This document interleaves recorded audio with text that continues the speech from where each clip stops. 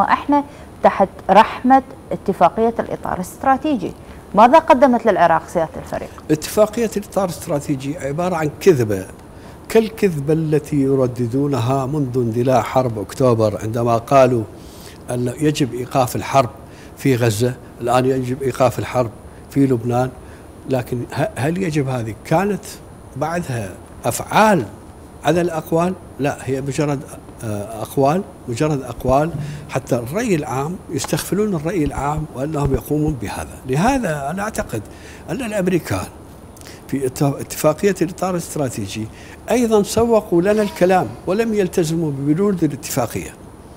وهذا الأمر يعني على سبيل المثال حماية الأجواء العراقية هو من صلاحياتهم وهم تعهدوا بذلك. في حين أن إسرائيل قامت بضربات عديدة في داخل العراق واستهدفت يعني قطاعات رسمية من الحشد الشعبي وسقط شهداء في هذه الضربات وأمريكا هي المسؤولة عن الأجواء إذا يعني اتفاقية الإطار الاستراتيجي فيها التزامات على الجانب الأمريكي، ولكن من يجبر أمريكا على تنفيذ هذه الالتزامات؟ من يجبر الولايات المتحدة؟ ليش السياسيين العراقيين ومن وقع هذه الاتفاقية لا زال يؤمن بها حتى هذه اللحظة؟ ليس هناك إيمان بها، أنا اعتقد السياسيين العراقيين أذكياء في هذا ويدركون أن الولايات المتحدة آه، نصبت فخا في قضية اتفاقية الإطار الاستراتيجي لتقييد العراق. نحن سنقوم بدعم الجيش العراقي سنقوم بدعم بتأمين أجواءكم. إحنا ابتلعنا هذا الفخ؟ ابتلعنا هذا الطعم؟ هي فرض. الولايات المتحدة تفرض هذا ليش؟ لأن إمكانيات لديها.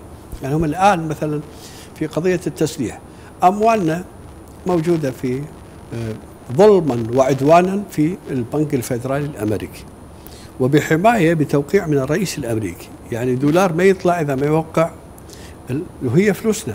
لا فيها عقوبات ولا لها علاقة بأي قضية أخرى. مجرد إحنا مبيعاتنا وصادراتنا تجي عن طريق الفيدرالي الفيدرالي متمسك بها ويعطيها للعراقيين بالقطار. العراق ما يقدر يقولها للولايات المتحدة هنا كافي ويلغي هذه الاتفاقية ويروح يتسلح من غير دولة؟ هو المشكلة الكبيرة أن الإدارة الأمريكية فاقدة لأخلاقية العلاقات. يعني هذه الإدارة ليس فيها يعني آه، نوع من الالتزام الأخلاقي تجاه الدول حتى لو كانت حليفة. هي تريد الدول تمتثل لها. على سبيل المثال إذا العراق اتخذ خطوة من هذه الخطوات وسحب فلوسه من الفيدرالي الأمريكي واتجه للتسليح لتنويع مصادر التسليح من دول متعددة ستقوم بشن حرب خفية في الاقتصاد وستقوم بإسقاط العملة كما فعلت مع تركيا. نتذكر إحنا من استوردت تركيا الأس 400 كانت الليره 280 100 دولار. الآن تجاوزت 3000 بسبب التهديدات الأمريكية الخفية لتركيا. وتمكنت من إيذاء تركيا بشكل كبير.